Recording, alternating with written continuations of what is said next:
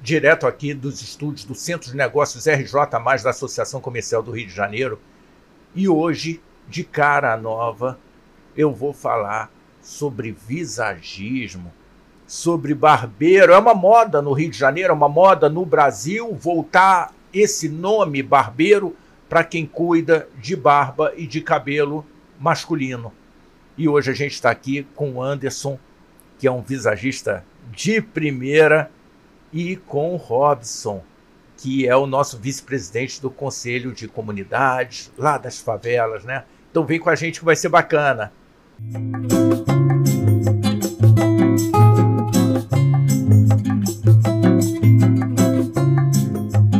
Anderson, eu tenho um amigo que é o Edson Freitas e ele fala muito em visagismo e começou a falar sobre isso para mim ali na pandemia. E eu falava, mas Edson, como é que é isso de visagismo e tudo? E você vem com essa história do visagismo. O que, que é o visagismo? Conta pra gente. Seu Salles, muito obrigado pela oportunidade de estar aqui nessa mesa. É um privilégio muito grande, principalmente estar do lado do Robson, um grande amigo, um grande irmão. Uma honra para né? mim. Bom, o visagismo ele veio com a proposta de ajudar o homem moderno na sua vaidade, né? E o visagismo nada mais é do que uma técnica, né, que veio para fortalecer ainda mais o corte de cabelo masculino. Né? E o termo visagismo né, é uma palavra inglesa que significa visagem, que quer dizer rosto. Então, visagismo é o estudo de pontos fortes e fracos do rosto né, do homem que nos faz entender qual é o formato do rosto daquele homem que quer um corte de cabelo moderno.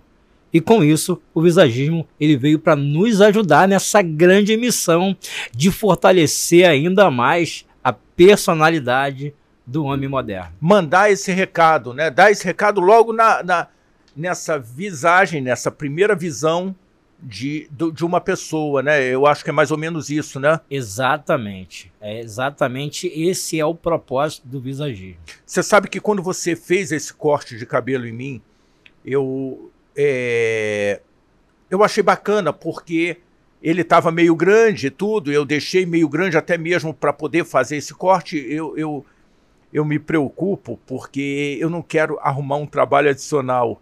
O meu irmão já penteia, faz um monte de coisa no cabelo. Eu não, não sou muito assim, quero acordar cedo e partir para a guerra, então molhou, sacode e vamos em frente, né? E eu acho que a forma com que você fez é assim, é, é, ela traz essa, essa leveza, esse dinamismo do carioca, que eu sou carioca, mas traz um pouco da seriedade. Eu acho que na empresa é, muitas vezes a gente via uma pessoa, um profissional extraordinário, mas que não se adequava a uma função que a visagem, que a visão desse profissional como imagem da empresa não se encaixava. Nós temos vivido, vivido momentos diferentes no Brasil e que a gente não pode falar muita coisa, né? A pessoa tem um cabelo muito grande, ou tem um cabelo muito curto que está desconectado com aquela informação que você quer passar. Então, qual é essa informação que a pessoa quer passar, né, Robson? Qual é essa informação? O que, que a gente está passando? Nós somos, sim, um Estado muito sério, muito competente, de gente dinâmica, mas de gente alegre. Eu acho que é isso, né? O que, que é a favela? A gente vê muita alegria, e um povo muito importante na favela, que a gente quer sim sempre ajudar para trazer, sacar essas pessoas, criar condições adequadas para essas pessoas. Mas eu acho que passa muito por aí, né? Sim, Ricardo. É, mais uma vez, muito obrigado pelo convite. É uma honra estar aqui do lado de um empreendedor como Anderson, como você, assim que é uma referência. É, e o programa tem sido de grande valia principalmente na projeção de negócios em comunidades, do profissionalismo que existe dentro das comunidades, na, na interação e na relevância dos temas que são tratados dentro da comunidade que refletem o que a sociedade está vivendo. Lógico que, fazendo uma análise do crescimento de mercado voltados à, à estética, aos cuidados com o homem, as comunidades, as favelas têm acompanhado isso.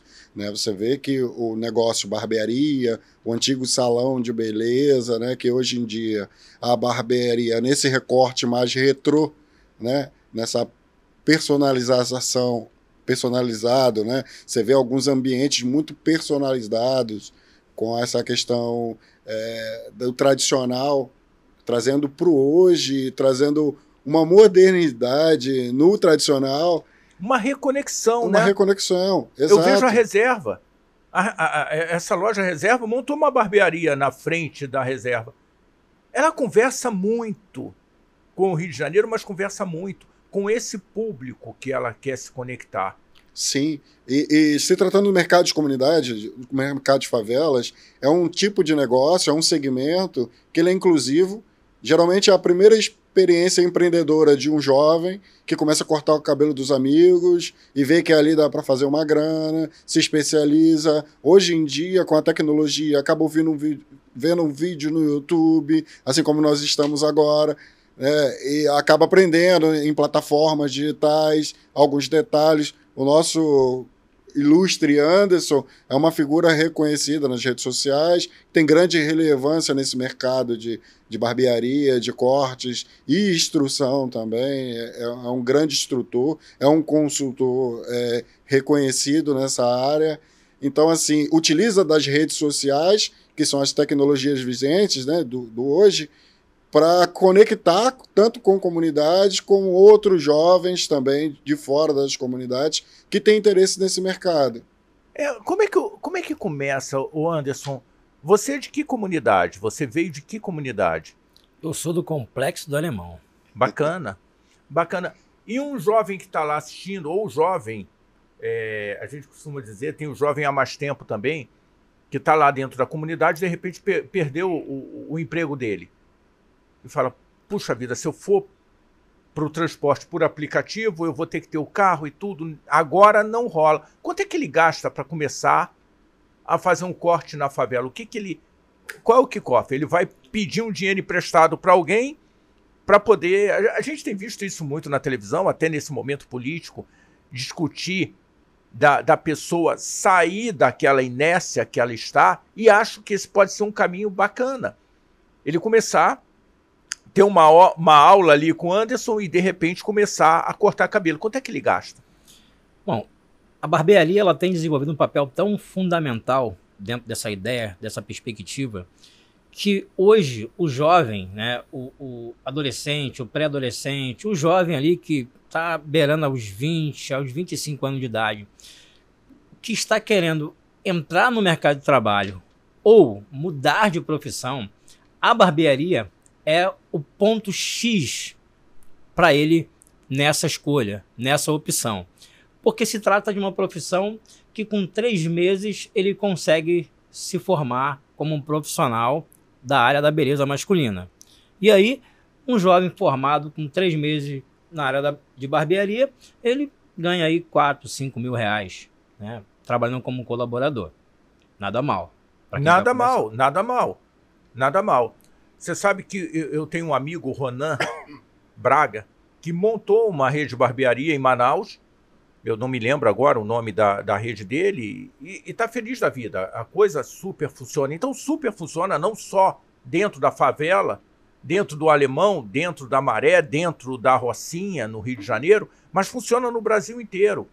Então, você acha, se, ele começa a trabalhar com 500 reais, com mil reais, ele consegue comprar ali as tesouras, eu vi que tem tesoura que custa, sei lá, 10, 15 mil reais, 20 mil reais e, e o cara tem ali 300 mil reais de equipamento dele pessoal para trabalhar.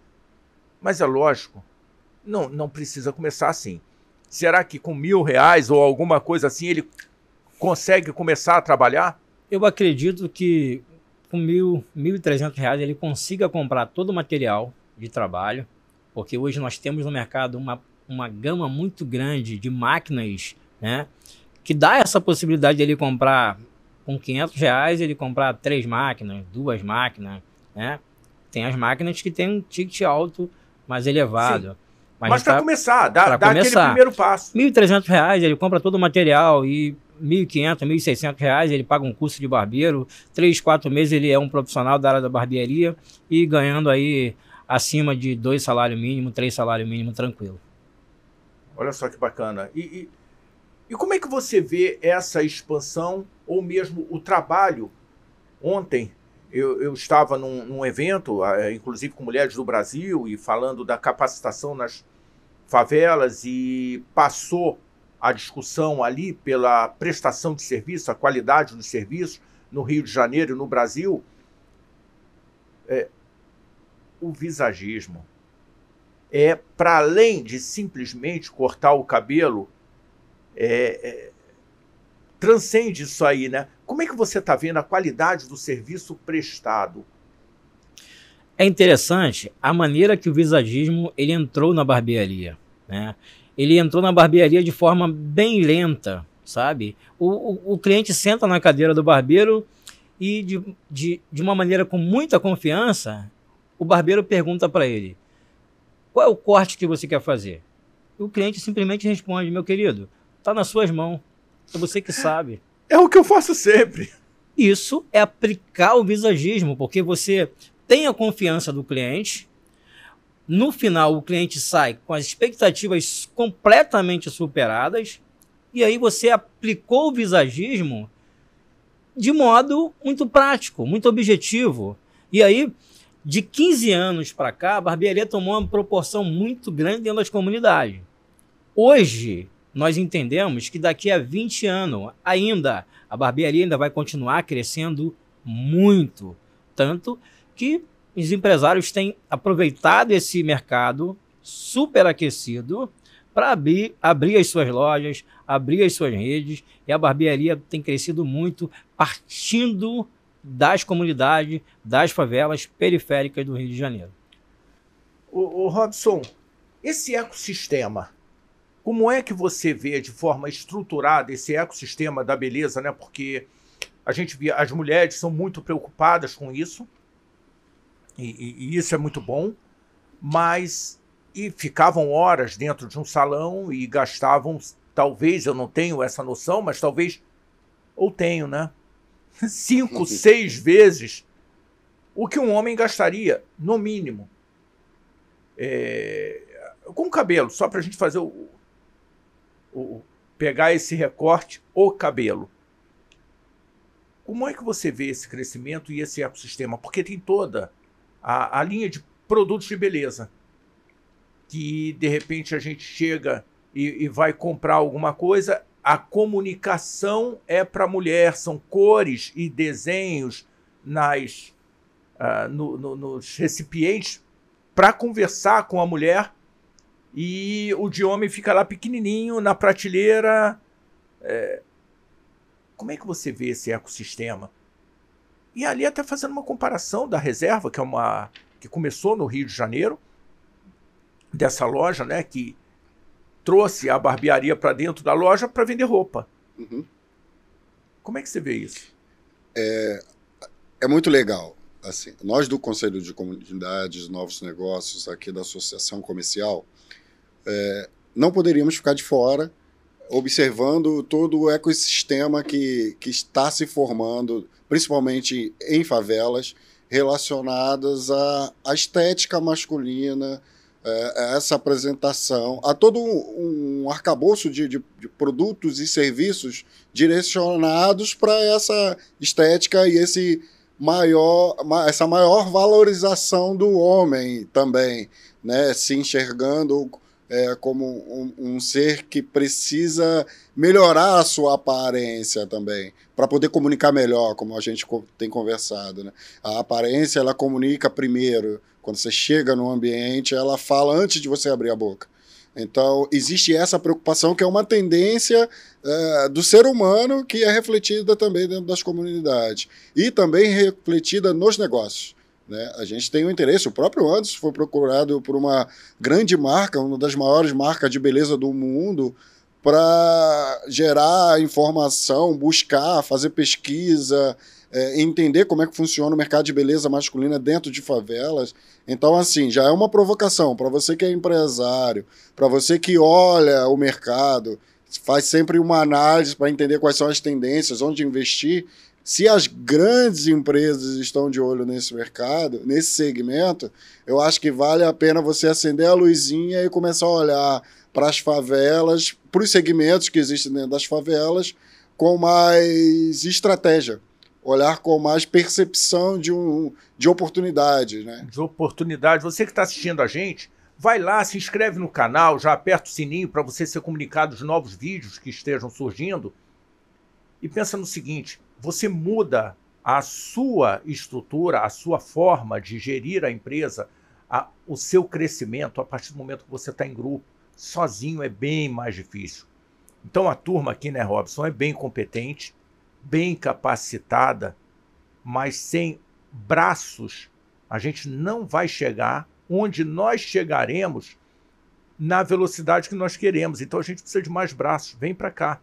Vem para cá participar com a gente, que talvez você descubra que tem um espaço para o café que você produz nas barbearias. E ele Exato. vai experimentar, de repente, pela primeira vez, numa barbearia, um café diferenciado um café talvez até do Rio de Janeiro, ou de fora do Rio de Janeiro, não há problema, mas que ele não, não, não seria muito comum. Então tem um espaço para você que trabalha com café, trabalha com energético, trabalha com uma água saborizada. Tem uma infinidade de possibilidades que a gente não vai conseguir explorar todas aqui, mas que uma barbearia pode colocar o seu produto no mercado, né, não, Robson? É, e, e aproveitando essa oportunidade, Ricardo, para falar sobre resultados, né? É, a gente está no, no, programa, a gente vem falando sobre as oportunidades, sobre olhar para as comunidades é, com, com um olhar mais apurado de negócio, entendendo que ali dentro há uma inteligência de negócios, né? há uma inteligência estratégica. E muitas das pessoas, algumas pessoas têm me procurado, algumas empresas, algumas marcas, justamente com esse interesse. Então, assim, quando a gente convoca, tem, tem gente vindo. Então, assim, não fica para trás, vem também. né? Tem muita gente interessada nesse mercado. A gente apresentou um dado das 10 principais comunidades, das 10 principais favelas do Brasil, de mais de 100 bilhões ano de consumo. Então, assim, isso aí é um dado relevante. Isso foi exatamente nesse, nesse programa que a gente disse isso. Você pode procurar. É... é, dá uma maratonada lá, que a gente já tem uma quantidade bem grande de programas e que talvez, dando essa maratonada, seja um curso para várias pessoas explorarem não só conhecimento com relação ao mercado, conhecimento com relação ao Rio de Janeiro, conhecimento com relação ao Brasil mas também experiências. Essa troca de experiência, o que moveu o Anderson e ajudou ele a sair da comunidade, da favela, e vir para uma comunidade, né? A gente costuma dizer que a, uhum. A, favela, se fosse uma comunidade, ela daria as condições mínimas para que as pessoas tivessem conforto, saúde e bem-estar. Então é uma favela. Até que o poder público consiga entrar e trazer a dignidade fundamental na vida de qualquer um. Há senso de comunidade, mas é uma favela. Sim, é, não, não deixa sim de ser uma comunidade, mas no, no meu modo de ver, eu prefiro tratar como favela enquanto ela não tiver ruas decentes, ele ter a dignidade de ter a conta dele de energia, é, ter condição mínima, como a gente conversou com o, o outro Anderson também, Sim. De, de delivery de favela. Tem que ter uma série de serviços, a gente precisa crescer muito como sociedade, ainda tem um espaço muito grande. Mas falando em crescimento, esse segmento de barbearia e, e beleza masculina, eu acho que tem um caminho bem grande para ser explorado, não tem não, Anderson? Com certeza. Por exemplo, dentro das favelas, se a gente fizer um mapeamento para localizar as barbearias, nós vamos nos deparar com lojas com estrutura de shoppings. de Zona Sul. Lojas no estilo retrô. Loja que se você adentra aquela loja, você não vai imaginar que, que você está dentro da comunidade. Então, a favela hoje, ela, ela lança tendência, ela lança moda. É da, é da favela que parte os empresários, é da favela que parte os empreendedores. Se tratando de, de barbearia, hoje os maiores barbeiros do mundo, e eu falo isso com, com muita autoridade, os maiores barbeiros do mundo, eles vieram de comunidades, vieram de favela.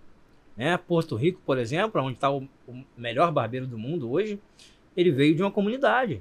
O Complexo do Alemão tem barbeiros que são reconhecidos a nível nacionais que começaram dentro de uma favela, dentro de um beco. Então a favela ela tem essa potência, a favela é uma potência. Uma potência... Esse incômodo, né, Anderson, esse incômodo de você mudar a sua condição de vida. É, eu acho que é essa a potência da pessoa falar, não.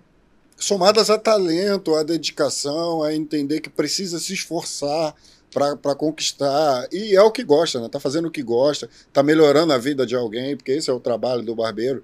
É, é melhorar a pessoa para ela mesma. Né? E eu posso dizer com experiência de vida que a barbearia mudou a minha vida. E começou ali na favela. Né? Hoje eu moro. Você no... fazia o que antes? Eu era um açougueiro. Era encarregado de perecível. Né? Tá. E muito novo, eu decidi mudar de profissão. E quando eu comecei a ser barbeiro, ser barbeiro na minha, na minha época ainda era vergonha. Né? O barbeiro que me ensinou a cortar cabelo, ele se aposentou com 84 anos de idade. Né? E hoje, ser barbeiro para um pai, ver o filho dele como barbeiro, é o filho dele merece um troféu. Meu filho é barbeiro. Ah, é legal. Nós temos um exemplo aqui do lado. Mas na minha época, quando eu comecei, não era tão fácil quanto parece hoje. Então, eu, eu, eu, eu sou muito grato pela oportunidade que eu tive, pela bravura que eu, que eu tive que desempenhar naquela ocasião, para hoje entender que a disposição que eu gerei naquele tempo, a coragem que eu tive naquele tempo, né, a ousadia que eu tive naquele tempo, me trouxe até aqui. Né? A barbearia me trouxe até aqui. Né? E eu já estive em lugares, já estive em palco no Rio de Janeiro, no Brasil, já fui eleito barbeiro destaque do Rio de Janeiro, já recebi premiações e é importante dizer que foi a barbearia que causou isso, partindo da comunidade. E não vem só da comunidade, eu, eu vou falar é, do, do Ronan Braga, um amigo meu querido de, de infância, e, e que tinha uma condição sempre excelente. É, o, o, o, Mustang que a gente acelerava era dele, quando eu tinha, sei lá, 17, 18 anos. E montou uma rede de barbearias em, em Manaus e está lá feliz da vida. E é um estilo novo a barbearia. Voltou o, o, o homem é, a cuidar de barba. O meu irmão mais novo tem barba. É, tem um mercado aí muito importante e que eu vou te confessar, a gente não sabe onde encontrar ou que tipo de produto até mesmo encontrar. Então tem um espaço para a gente olhar para essas grandes marcas ou até mesmo as pequenas marcas de produtos cosméticos no Rio de Janeiro e trazer essa turma até para vir conversar aqui entender as facilidades e dificuldades. Quem sabe, né, o, Robson tenha um espaço aí para dentro das comunidades que de repente seja difícil essas empresas alcançarem. Mas a Associação Comercial do Rio de Janeiro está aqui, o nosso centro de negócios da associação está aqui para criar essas pontes e fazer as coisas acontecerem, como você falou, que foi procurado ou tem sido procurado por empresas que querem colocar os seus produtos na janela. Essa é a nossa missão. Essa é a nossa missão. Nós precisamos aumentar a intensidade de negócio no estado do Rio de Janeiro. Isso aí. Você tocou num assunto muito interessante, né? Embora a barbearia ela tenha crescido muito nos últimos 10 anos, mas ainda nós temos necessidade de produtos para a barbearia no mercado. Por quê? As empresas que fabricam os produtos que ora nós usamos, elas têm um monopólio ainda muito pequeno. Elas não conseguem atender esse público, empresários, empreendedores e os que surgem toda semana, todos os dias, né? Turmas são formadas, novos barbeiros aparecem no mercado e a necessidade de produtos para homens é muito gigantesca. Nós temos dificuldade, para você ter uma ideia, nós temos dificuldade de comprar produtos para homens para vender nas barbearias. Tá aí, olha aí uma é, Exatamente, é, era, era nessa linha que eu ia falar. É justamente essa análise de mercado. Você vê que existe oportunidade de para as marcas de criação de produto. Esse foi o grande interesse da, da, da posso falar o nome não, não, né? não pode. Da, da, grande empresa que, que procurou o Anderson de, por conta da sua relevância nas redes sociais uh, e a oportunidade e o, assim é um momento que é oportuno né? porque as empresas existem uma preocupação com o SG, existe essa possibilidade da inclusão produtiva de jovens no mercado de trabalho, é um problema crônico no Rio de Janeiro, porque ele é correlacionado à violência, o jovem não tem emprego, ele, ele se envolve com a criminalidade. A falta de ocupação, como dizia o, o meu avô, o, a cabeça vazia dá Exatamente. oportunidade para um é... monte de coisas, inclusive as não lícitas. Exatamente. Então, assim, a gente consegue observar uma série de, de informações que dá ao empresário para tomada de decisão no que investir muito, prática, muito prática, muito é, transparente. O Anderson acabou de falar do custo que é para formar um, um, um, empreendedor.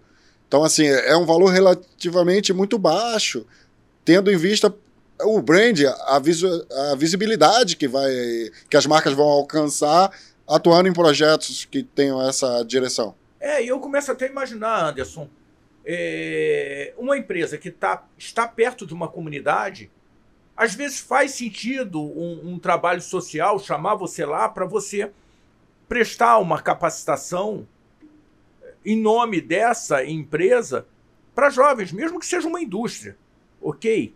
Exatamente. Mas você está prestando um trabalho social e essa empresa ela passa a ter uma visibilidade diferente, com um custo baixo, mas com um impacto bastante importante naquela localidade que ela. A gente fala muito do entorno, né? Sim. Mas é uma coisa muito para além do entorno. Exatamente. Muito para além do entorno. Amanhã, essa pessoa sai da comunidade, sai da favela e vai dizer é a oportunidade que aquele senhor de 80 que parou de trabalhar com 84 anos me deu e você não esqueceu nunca mais. Aquela marca dele foi reforçada Exatamente. também por esse trabalho social e por vezes a gente não sabe muito o que, que eu faço para agradar, para criar essa proximidade e essa pode ser uma alternativa. Exatamente. É interessante a gente observar que muitas das, das indústrias, das empresas, têm jovens no seu quadro de funcionário, jovens esses que estão no seu primeiro emprego, jovens esses que estão começando a sua jornada de trabalho, né? a primeira assinatura na carteira, alguns deles como jovem aprendiz. Né? E eu me coloco aqui à disposição né? para fazer parte desse time que deseja incendiar o coração desse jovem a buscar algo melhor para a vida dele como profissional. É, e eu posso dizer que a barbearia ela tem esse poder de mudar a mentalidade de um jovem. É, hoje eu tenho 45 anos de idade, eu tenho 21 anos casado, e tudo que eu sou, tudo que eu tenho, tudo que eu construí, a família que eu tenho, foi a barbearia que me proporcionou. Então, é, é até um privilégio, né, para ter essa oportunidade, poder falar para esse jovem, né, que está começando agora no mercado de trabalho, que ele pode sim ser um grande empresário, ter uma rede de barbearia, começando com curso de barbearia, começando com a instrução, né? começando com, com um conselho sobre como empreender, né? incentivando esse jovem a mergulhar de cabeça nesse mercado que ainda vai crescer muito no Brasil. Que é muito e, e prestar um serviço diferente, né? É, é eu tenho. Eu conversei ali durante a pandemia, um amigo queria montar uma rede nova de, de salão de beleza, de salões de beleza. Ah, mas como é que pode? Eu falei, cara, aproxima esse salão de beleza do teu cliente. Então você pode ter uma van criando aquela dificuldade que principalmente a mulher, eu acho que mais do que o homem, é, de de repente surgir uma executiva falou, olha, a gente tem que ir para Bariloche agora, porque tá todo mundo lá e, e é a oportunidade para a gente fazer a venda da empresa, para a gente vender o nosso produto. E ela falou, nossa, eu não fiz cabelo, eu não é, fiz algumas coisas que são importantes da beleza feminina. Como é que eu faço? Eu vou cruzar agora o Rio de Janeiro para poder chegar na Barra. No salão, opa, então uma van toda muito bem preparada pode atender. Ah, mas esse serviço custaria caro. O que, que é caro? O que, que é caro no mundo? Uma lancha é cara? Um voo de um voo privado é caro? Depende do que que você ou para o que que você está usando aquilo. E outra coisa, um salão que tenha qualidade do ar. É, é muito importante a gente tratar dessa questão da qualidade do ar, porque as pessoas podem estar sendo contaminadas em salões de beleza.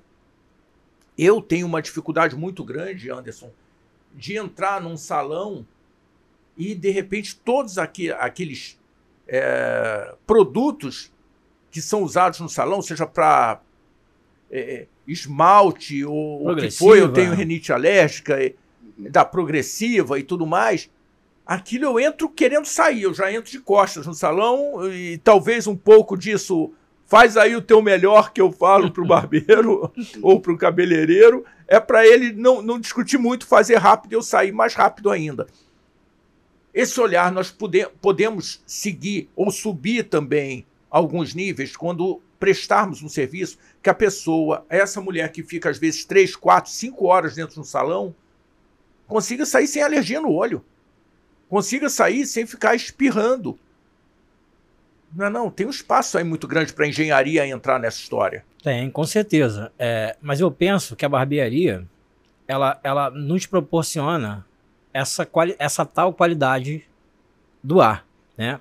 Por exemplo, a barbearia moderna hoje ela trabalha com produto químico, né? faz lá o clareamento, faz o reflexo, mas nós temos um setor muito, né, muito preparado para isso, de modo que a, a, frequência que se dá esse tipo de trabalho né, não é tão grande quanto no salão, mas um, um salão feminino. Que atende a mulheres, né? Exatamente. Então eu acredito que o produto químico ele está mais presente nos salões femininos. Né? O secador em si ativa esses produtos, é, a chapinha ativa esse produto, mas na barbearia nós temos esse privilégio de trabalhar com mais tranquilidade, sem sofrer tanto com essa questão. Mas igualdade, a mulher precisa ter uma qualidade Exatamente. do ar assim como o homem tem qualidade Exatamente. do ar. E eu acho que é interessante, talvez seja uma conversa que a gente possa ter até com o seu público, trazendo essa informação, porque eu, eu vejo que muito, muito, muitas das coisas acontecem e esse é o nosso objetivo aqui no nosso canal do Centro de Negócios, trazer a informação. A partir dali, ah, mas é simples assim que eu consigo manter a qualidade do ar aqui dentro do meu salão? É simples. Talvez não seria interessante né, os empresários pensar em criar produtos que sejam menos ofensivos ao tá ar? aí, isso, esse é o lado social mais até do que o lado ambiental, a força de vir com produtos que impactem menos na saúde das Exatamente. pessoas e não é só a, a, absorção pelo cabelo ou pela pele, mas sim pelo ar também, né? Eu estou feliz da vida com, a, com essa conversa. Eu acho que essas barbearias podem proliferar bastante, porque tem um mercado muito grande. Nós hoje já temos mais mulheres do que homens na nossa sociedade, mas eu acho que o homem, como você muito bem falou, usa muito pouco e tem um espaço muito grande. Talvez o espaço maior uh, ou mais importante do que para essa líder mundial da beleza é, que te procurou, para os pequenos. Para um produtor, uma indústria química que produza é, componentes para barbearias, espaço de vir conversar com o Robson, com o Anderson e falar como é que eu entro, como é que eu consigo criar uma linha que vai representar, de repente, 20% da minha produção, mas que nessa empresa muito grande representaria 0,02. Por que, que ele vai parar executivos? Por que, que ele vai parar um marketing para pensar em alguma coisa que vai representar 0,02? Um número assim absoluto que eu estou trazendo, né? Não, não que seja um número real, mas que vai representar muito pouco no faturamento desse grande. Mas de repente no pequenininho isso pode fazer uma diferença absurda, né? É, são infinitas possibilidades para diferentes atores desse mercado, né, desse ecossistema. Né? Tanto como uma estratégia corporativa, criar essa uma nova unidade de negócio voltada para esse segmento é de super, um interesse gigante e uma probabilidade de sucesso muito grande frente a todas as informações que a gente apresentou aqui. Mas também para o jovem, para a comunidade. Lógico que a gente não está falando aqui de filantropia, né? Lógico que tem toda uma questão de impacto social que está na moda, mas é algo que é restritamente necessário é, para a nossa sociedade, para o nosso convívio. É, mas existe a possibilidade do crescimento em carreira. Né? O Anderson é consultor. A hora do Anderson é, é, é relativamente num valor significativo, assim. Não, não é, é só vira um, multiplicador, né, Anderson? Exatamente. Vira um multiplicador. Exatamente. Então, assim, tem uma ideia de carreira, né? Tem uma ideia de crescimento. Não é só inclusão produtiva por si. Não é só conseguir que o, que o jovem consiga ali é, X valor mês, mas também ele, que ele possa crescer, que ele possa aprender a desenvolver produtos, porque não? As possibilidades são infinitas. Da consultoria, trabalhar dentro de empresa, mudar é, é, trazer um pouco dessa identidade da empresa através de um trabalho com os colaboradores. Existem infinitas possibilidades. Tá aí dentro de uma empresa aquela dificuldade que eu comecei falando, a dificuldade que você tem de, de por vezes, de falar, olha, o teu cabelo não está adequado a essa função, para esse tipo de atendimento, para esse recorte da sociedade. Isso é uma coisa que é meio assim, bastante difícil para mim, tá? Porque ao mesmo tempo que tudo pode, tudo pode. Uhum. Está comunicando a mensagem da minha empresa, do que eu quero comunicar? Não, então eu não vou contratar, por vezes, uma pessoa extremamente bem capacitada, porque ela não comunica a visagem, a primeira visão dessa pessoa quando chega no meu cliente não é a primeira visão que funcionaria para o modelo da empresa. A gente escolhe a cor para a logomarca, a gente escolhe um monte de coisa. Qual é esse perfil que eu quero levar? Então acho que é muito por aí, né? Exatamente.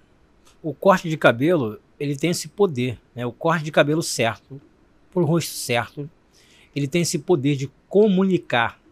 Primeiro, eu penso que, é que o indivíduo que esteja é, com um corte de cabelo que se encaixa ao seu perfil de rosto, reforçando ainda mais a sua personalidade, quando ele chega no ambiente, ele sem falar uma palavra, o perfil dele, a apresentação dele já fala por si, né? E tem um ditado popular que a gente conhece bastante, né, que é a primeira impressão é a que fica. É a que fica. É. Isso aplicando a esse contexto é muito verdade.